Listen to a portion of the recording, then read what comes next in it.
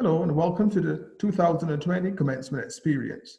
Before we begin today, we wish to acknowledge that portions of our commencement presentation were recorded before the unfortunate death of George Floyd that sparked protests and a national debate on race in America. While we celebrate the collective achievements of our students, we must recognize the state of the world that our graduates will emerge into as hopeful change agents. Let us take a moment of silence to recognize the current world of events catalyzed by the two pandemics we as a nation are enduring COVID 19 and the institutionalized racism that threatens the well being of persons of color, particularly the Black community. Let's pause for a moment.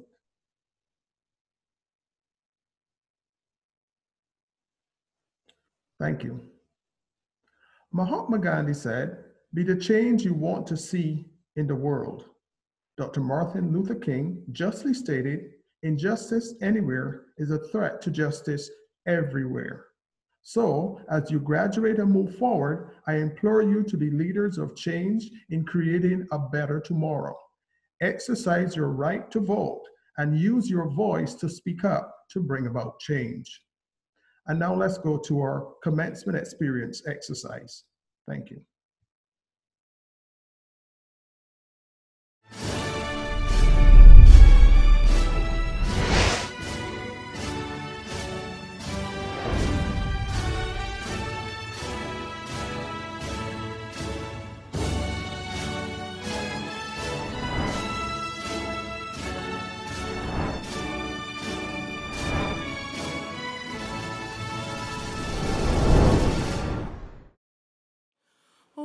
Say, can you see? By the dawn's early light what so proudly we hailed at the twilight's last gleaming, whose broad stripes and bright stars through the perilous fight o'er the ramparts we watched were so gallantly streaming, and the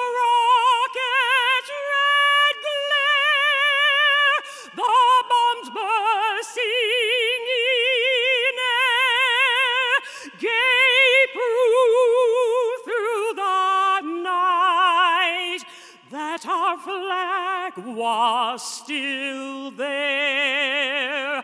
Oh, say, does that star-spangled banner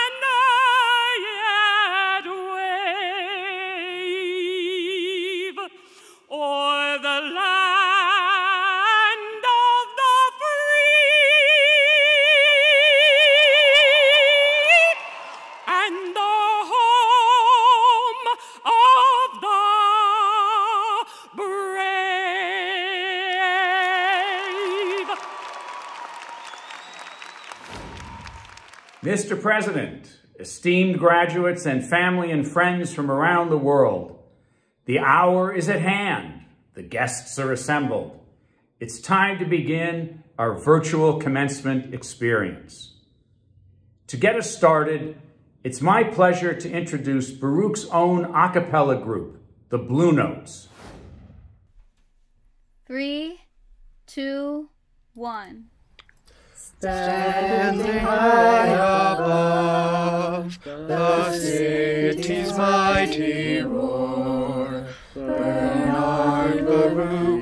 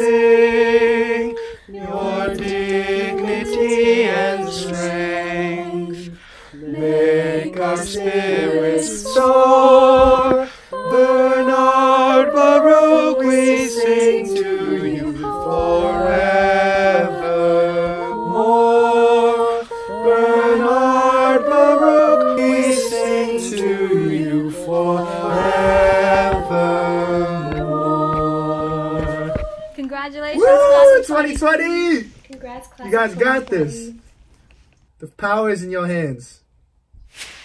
Thank you, Blue Notes. We appreciate your being part of this amazing experience. Graduates, today is your day. It's the culmination of everything you've worked so hard for, and it is your gateway to the future. Baruch College is proud to be a most distinguished institution within the City University of New York. At any given time, there are more than a quarter of a million students pursuing degrees at CUNY colleges. Within this amazing system, Baruch has earned a national reputation as an engine for the economic and social mobility of its students. A Baruch education literally transforms lives. Hello, and thank you to your president, to your faculty, and to the entire campus community for inviting me for this celebration. I am thrilled to extend my enthusiastic congratulations to a very special group of graduates, the resilient and persevering class of 2020. Please make some noise. I want to hear you. That's better. Thank you. And thank you, President Wallerstein. With your approaching retirement, I want to first congratulate and thank you, my dear friend, for your extraordinary leadership of Baruch this past 10 years. I'm honored to help you celebrate the last graduating class of your fantastic tenure. I'm also happy to welcome Dr. David Wu, who will succeed you as president over the summer. And on behalf of the entire CUNY community, I am thrilled to extend my enthusiastic congratulations to a very special group of graduates, the outstanding Baruch College class of 2020. Give yourselves a big round of applause. You have to do better. I want to hear you. That's more like it. Thank you. Like all of you, I wish we could be celebrating your wonderful achievement together, in person, in a grand setting, with all the pomp and circumstance that I know you and your families have looked forward to. For now, though, I'm grateful for this virtual gathering and honored to be part of it. This celebration might be virtual, but the milestone it signifies is very, very real. Even without a procession in caps and gowns, nothing can diminish the power of this moment in your lives, and nothing should dampen the pride you feel in getting here. Quite the opposite. I know what it took. I know how you had to rise to the occasion to arrive at this very special moment of your life. It goes without saying what an extraordinarily difficult time it's been in New York and on all of our CUNY campuses as we struggle to complete the academic year amid almost inconceivable disruption, uncertainty, and anguish. As a community, we have been impacted considerably. For many of us, the crisis has been accompanied by personal loss. On behalf of the entire university, I want to offer sincere condolences to all who are grieving here today. We all have experienced the challenges in our own personal ways, but we have responded collectively. And no more so than you, the class of 2020. You have demonstrated a resilience and resolve that inspires me. You stay strong and adapted to the circumstances. Midway through your final semester, you made the transition to distance learning. Your time on campus ended abruptly and unexpectedly, but you pulled together, helped each other, made sacrifices for the greater good.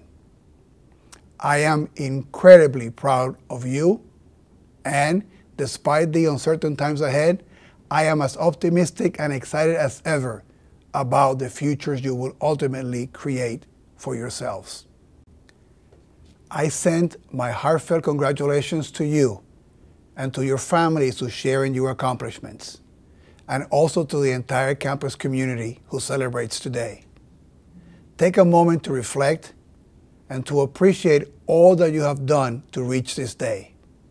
Yes, we have much ahead to overcome, but stay strong, look forward, and know that you have what it takes and more to thrive. Class of 2020, remember that you're not alone and that CUNY and this chancellor will always have your back. Congratulations. Muchas, muchas felicidades. Today is also a milestone for Baruch's president, Mitchell Wallerstein, who is stepping down after leading the college through a period of historic growth and improvement. Since arriving at Baruch 10 years ago, Dr. Wallerstein has worked to modernize and expand our campus facilities, recruit top faculty in all areas, and launch and enhance academic programs. During his tenure, the college has also greatly expanded our student support offerings, including scholarships, career coaching, internship and job placement services, opportunities to study abroad, and more. The success of these efforts is evident in your success.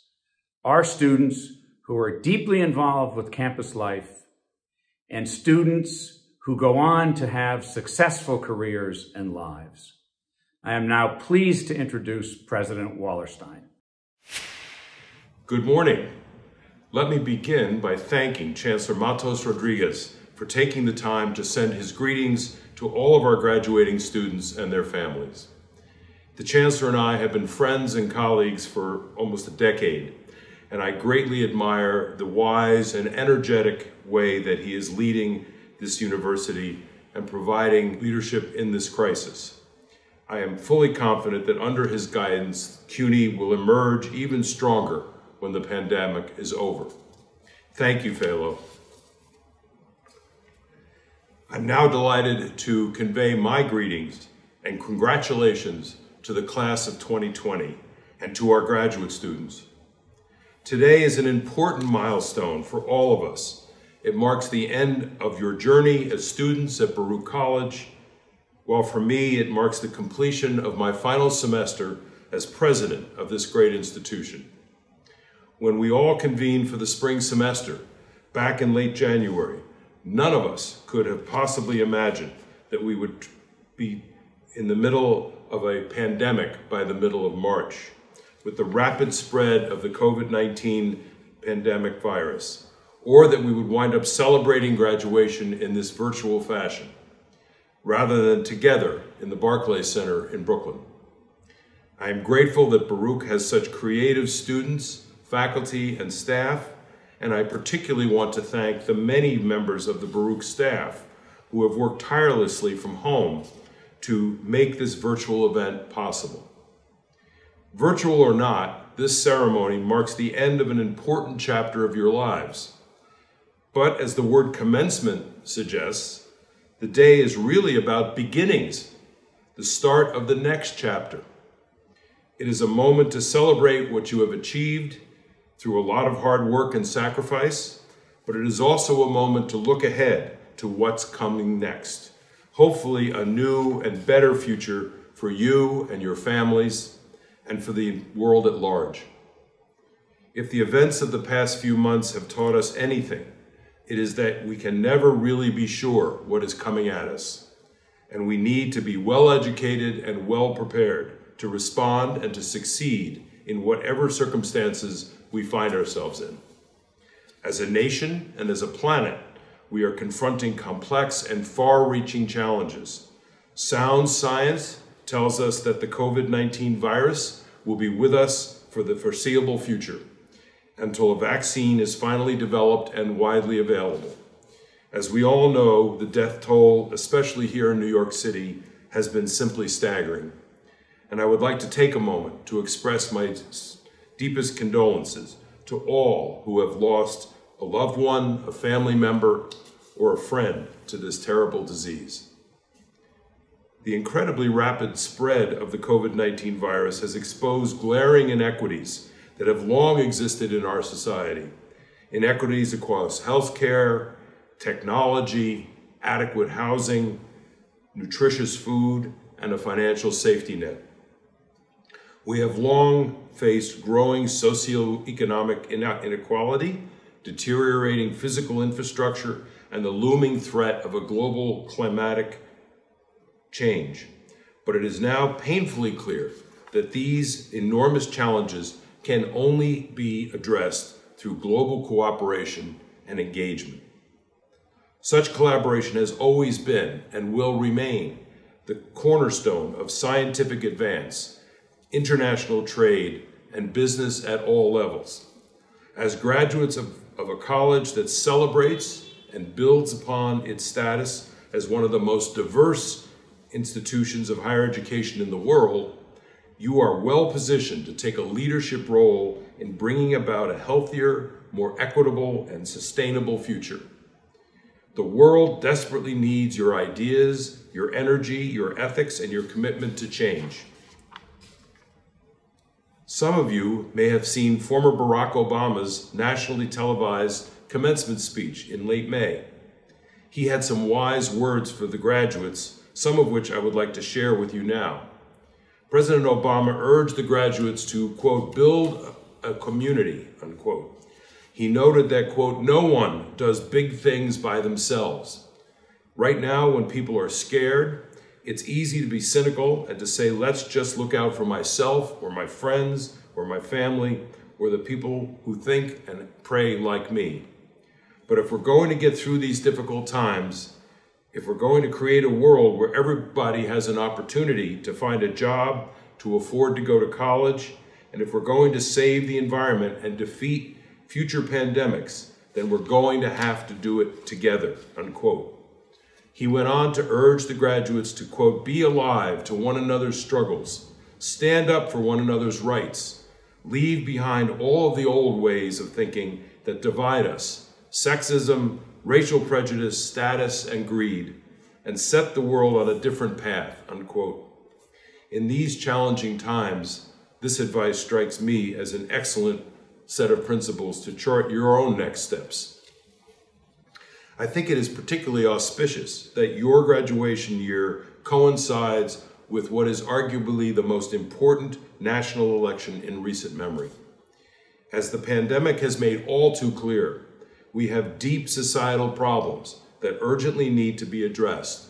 So the question is whether we will choose candidates at every level of government who are willing to take to think boldly and confront the challenges that our country faces while also remaining engaged with the world. In order to survive, our democracy needs smart, hardworking people like you, people who are capable of communicating with others who may not necessarily share the same political views, to find solutions for difficult societal and planetary problems, and to bring about change in local, state, and national policies. It is critically important in this regard that your generation voices its concerns regarding decisions and policies that you believe are taking our city, our state, or our country in the wrong direction. And most important, it is essential that you and everyone you know comes out to vote in November. The urgency of all this has never been greater. During your time at Baruch, and especially over the past few months, you have shown that you have the intelligence, the talent, the flexibility, and the grit to do anything that you set your mind to, even under the most adverse circumstances. The faculty and staff of the college are proud of you and what you've accomplished. I am proud of you, and you have every reason to be proud of yourself. But as you celebrate your own achievements, it is also important to acknowledge that you most likely did not reach this graduation day entirely on your own. So it was appropriate to recognize the people who helped you along the way. Your parents, friends, colleagues, spouses, partners, siblings, children, and others who believed in you, who cheered you on, who helped you through difficulties, and who supported you in many different ways. They were companions on your academic journey, and today is their day as well. So I hope you are watching this virtual ceremony with some of these people, but if not, please be sure to thank them and to express your gratitude for all they did to help you. Like all the graduates today, I too am beginning a new chapter. I have just completed my 10th year as president of the college, and I am preparing to step down. Baruch's great new president, Dr. David Wu, will arrive to take the helm on the 1st of July. After a brief research leave during the summer, I am looking forward to returning in the fall semester to continue my association with Baruch College as a CUNY University professor. I will be teaching graduate courses in the Marxe School of Public and International Affairs in my specialty areas of international security and international affairs. And in this new role, I look forward to helping advance the careers of future Baruch students. Finally, as you make your way in the world in the coming years, I hope that you will stay connected with your alma mater and that you will help pay it forward for the generation of students who will follow you. I remind you that many of the programs and opportunities that you benefited from during your time at Baruch were made possible by the generous alumni who preceded you and who contributed to the college both financially and through their generous sharing of their time. I urge you all to carry on this wonderful tradition because it is what makes Baruch special within the City University of New York. With that, I offer my hearty congratulations and best wishes. You are the, at the start of an incredible journey. Make the most of it. It is now my honor to recognize two outstanding students from among the class of 2020. This year's valedictorian and salutatorian. Both are Macaulay Honors College students, and they each have excelled academically and have had strong community engagement around the college. Catherine Dorovitsin has been named salutatorian. She has earned a BBA in finance from the Zicklin School, along with minors in New York City Studies and International Business. Catherine has had many leadership and mentorship roles at Baruch, including with the Star Career Development Center, and she twice studied abroad in Germany. My congratulations to you, Catherine. This year's valedictorian, who will address the class of 2020 in just a moment, is Anne-Marie Gaidosh. She earned a BBA in Computer Information Systems from the Zicklin School with a concentration in management of musical enterprises and minors in business law and New York City studies.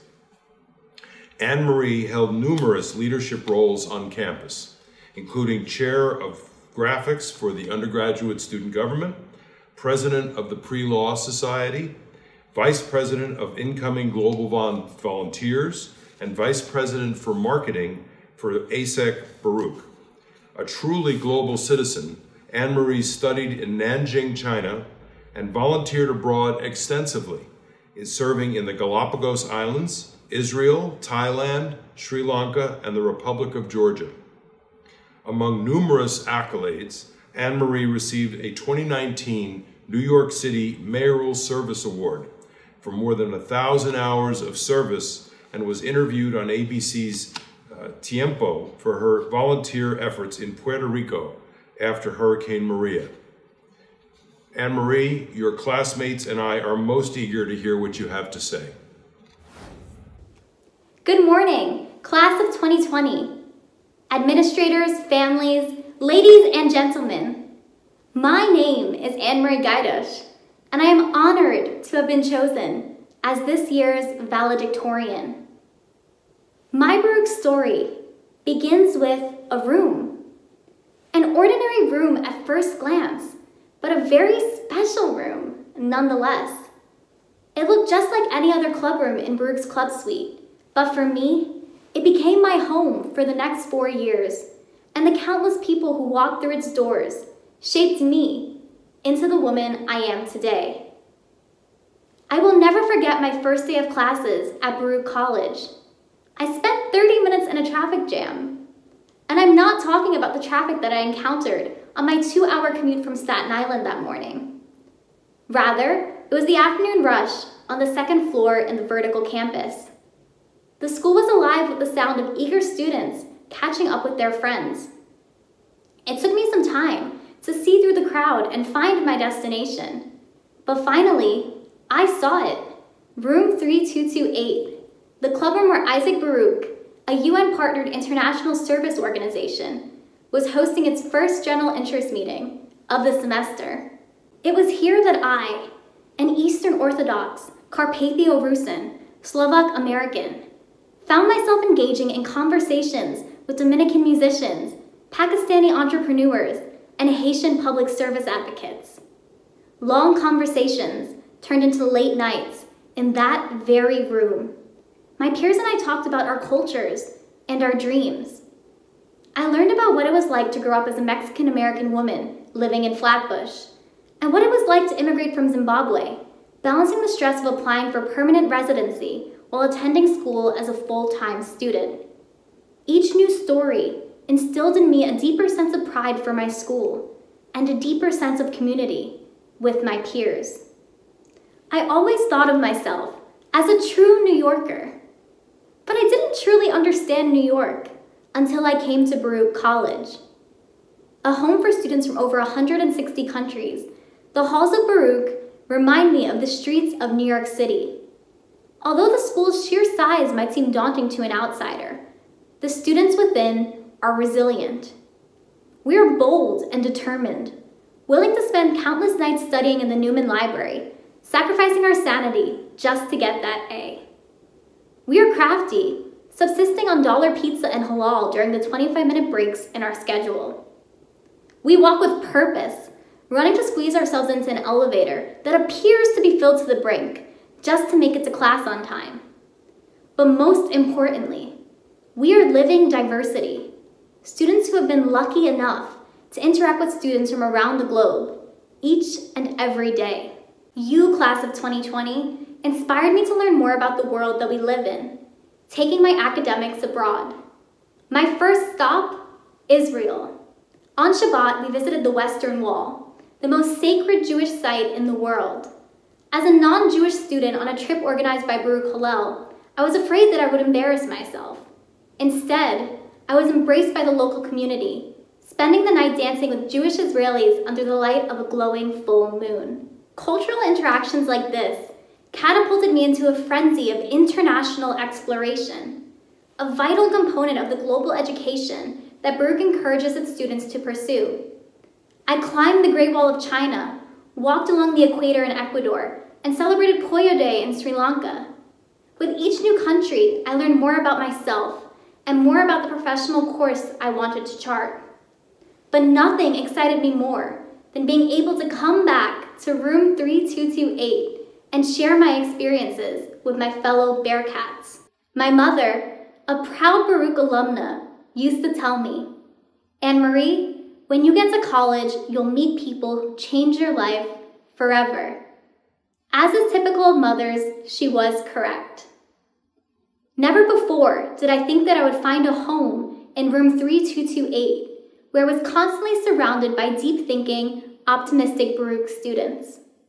Never before did I think that I would find myself in Thailand, volunteering with an anti-human trafficking project and spending time teaching Thai, Burmese, and Shan students. Never before did I think that I would be delivering this speech to all of you, and certainly not from the comfort of my own bedroom. The past few months have been difficult for all of us. The world is changing in unprecedented ways. But when were the last four or so years ever easy? We've conquered MTA mishaps, a stressful registration process, water outages, and now, an international pandemic. It's challenging to move forward when our time at Baruch was cut short by forces outside of our control. But this is our ultimate test, class of 2020. Above all else, Baruch has prepared us for the world out there, an interconnected world where unity makes us stronger, a world where we have the power to initiate legitimate reform for the members of our diverse communities. College has taught us that when we stand together, we can amplify the voices of our marginalized peers. The task before us is formidable. Nevertheless, we have the ability to rewrite our country's narrative, ensuring that equality is more than just an abstract concept, but instead a human right for all. When times get tough, I want you to think about your special place at Baruch, your personal room 3228. Is it one of the club rooms where you're first introduced to your best friends? Is it the library where you spent all night goofing around with your classmates? Or is it the gym where you played basketball with your peers to let off some steam? Wherever it is, I want you to think of this place right now and what made it so special to you. Remember the memories you created there and the Bearcats who shared them with you. These are the moments that nobody can ever take away. But don't let my anecdotes fool you. I don't know how to summarize my undergraduate career at Baruch College, let alone how to summarize the experiences of all of our amazing graduates. I might be graduating with a BBA in Computer Information Systems, but I am more than a business student. I am your peer, and because of you, I now consider myself a student of the world. I cannot thank enough my family, the frequent visitors of room 3228, Baruch staff and professors, and all of you, the class of 2020, for helping me get here. We are now ready to take on the world, fearlessly and unapologetically, in a way that no pandemic can suppress. I want you to remember that this is a speech about us, the class of 2020. We did not get here alone, nor will we continue along our individual professional routes in solitude. We are one world, one city, one school, and most importantly, one community. We are Baruch's class of 2020, and we, more than anything, deserve to take pride in who we are today. Once again, congratulations, class of 2020. We did it. We made history, and we did it together. Thank you so much for having me. Now it's time for today's main event, the conferral of 5,357 bachelor's and master's degrees awarded by Baruch College of the City University of New York. I also want to acknowledge that Baruch is awarding six doctoral degrees this year to students who completed their coursework and dissertations in industrial organizational psychology or business under the supervision of Baruch College faculty. Following academic custom, I now turn the proceedings over to the deans of the schools from which you will receive your degrees.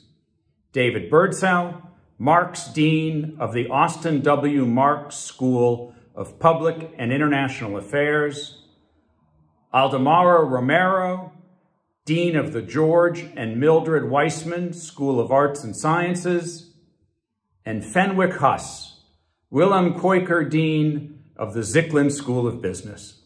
Mr. President, on behalf of the faculty of the Austin W. Marxe School of Public and International Affairs, it is my pleasure to present you with 285 of the most visionary, compassionate candidates for Master of International Affairs, Master of Public Administration, Executive Master of Public Administration, and Master of Science in Education in Higher Education Administration. I also present 47 candidates for the Bachelor of Science degree in the Marxe School of Public and International Affairs. Together, these Marxe graduates represent the future of our governments at every level, our nonprofit organizations, and the communities that they serve. Knowing their talents, we have every reason to be optimistic. Mr. President, I respectfully request that you grant the degrees earned. Mr. President, on behalf of the faculty of the George and Mildred Weissman School of Arts and Sciences, I am pleased to present to you 149 of the most creative and dedicated candidates for the Master of Arts, Masters of Science, Master of Arts in Arts Administration, Masters of Arts in Corporate Communication, Master of Arts in Mental Health Counseling, Master of Science in Financial Engineering, and Master of Science in Industrial Organizational Psychology degrees. I am also honored to present to you 1,062 candidates for the Bachelor of Arts and Science degrees in the Weissman School of Arts and Sciences. They have pursued a traditional liberal arts curriculum while taking advantage of the professional training available to them. And as a result, they are ready for anything. I respectfully ask that you award all of the Weissman candidates the degree earned.